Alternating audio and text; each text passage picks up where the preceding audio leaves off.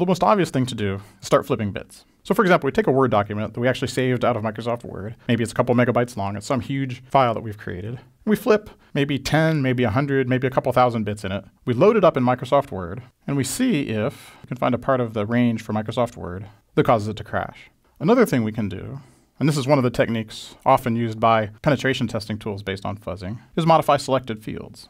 And the model here is that our test case has some known structure, that is to say, it's a valid HTTP request. What we're going to do is target parts of the HTTP request that are known to frequently lead to vulnerabilities in servers, and we're going to selectively modify those. So we might take, for example, so we might, for example, take the request size and just replace it with some random number and see if that triggers a buffer overflow in the web server.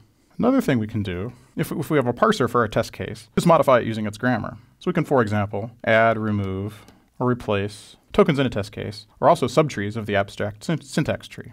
All right, so let's finish up by looking at a short mutational fuzzer. And what I have here is five-line Python program. It was made kind of famous by Charlie Miller's talk, Babysitting an Army of Monkeys. And this talk is pretty fun to watch, so I recommend that you um, Google that and look at it on YouTube. So what Charlie Miller claims in this talk is that he found an enormous number of bugs with his five lines of Python. And so what it turns out is that the five lines of Python are missing are missing quite a, quite a bit of code that you need to make this work in practice. And I've added comments sort of explaining what these are. So what we would first need to do is load a file into a buffer in memory. And so the file that we're going to load is going to be a PDF document, a PowerPoint document, a Word document, whatever it is that we want to mutate for purposes of creating a random test case. What this code does is first, first assigns into this numWrites variable, which is basically deciding how many places inside the file that we've loaded we're going to mutate. And so now we're going to loop over that range. And every iter for iter every iteration of the loop, we're going to make up a random byte, then make up a random location within our buffer, and then mod whatever value was there with our random byte. So what does that mean? We're basically picking some, totally randomly picking some places in the buffer to mess with and messing with them. Then we're going to save the buffer back to disk, run whatever our application is. So run Windows Media Player, PowerPoint, Acrobat Reader, whatever it is we're trying to fuzz, and look at its exit code. And so its exit code from the operating system is going to tell us whether it died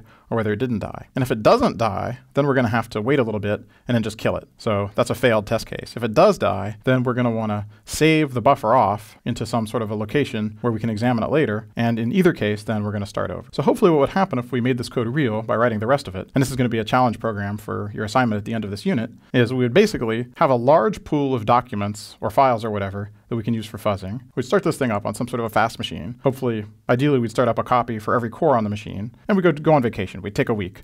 And when we came back, ideally, it would have found a bunch of vulnerabilities. Now, it turns out that a lot of people have been using this sort of tool on the common utility programs like Acrobat Reader and PowerPoint for a, a number of years now.